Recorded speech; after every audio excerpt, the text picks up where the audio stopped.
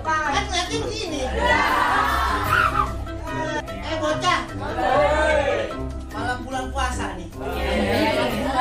Ya. Setan pada diikat. Jangan tuh yang gak diikat.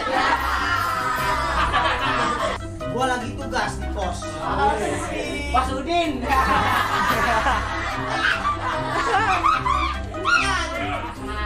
Bos Yanju. Lu